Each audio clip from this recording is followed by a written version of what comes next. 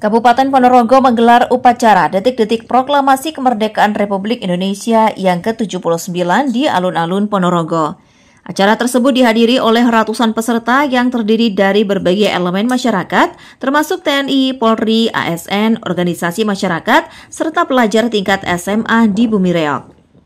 Suasana khidmat dan patriotis mewarnai jalannya upacara yang dipimpin langsung oleh Bupati Ponorogo Sugiri Sancoko sebagai inspektur upacara. Salah satu momen yang paling berkesan adalah dentuman meriam dari Lanut Iswayudi yang turut menambah kehormatan dan kemegahan upacara tersebut.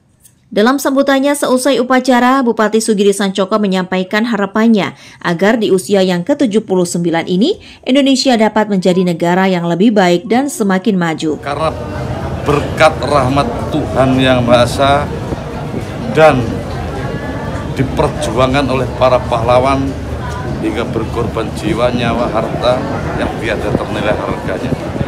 Maka kami sebagai penerus bangsa, sebagai rakyat kecil,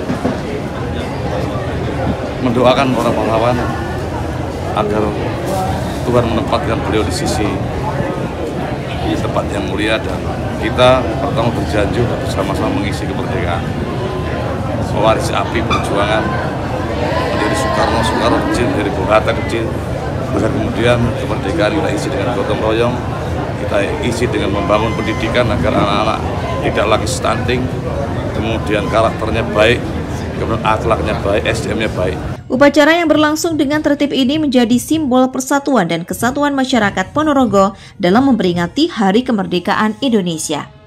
Ega Patria, CTV, Ponorogo.